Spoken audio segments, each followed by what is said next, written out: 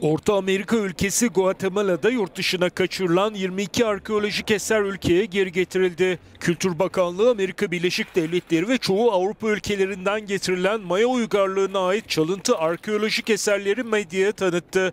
Tarihi eserlerin önemli bir kısmı 1960 ve 1970 yılları arasında çalınmıştı.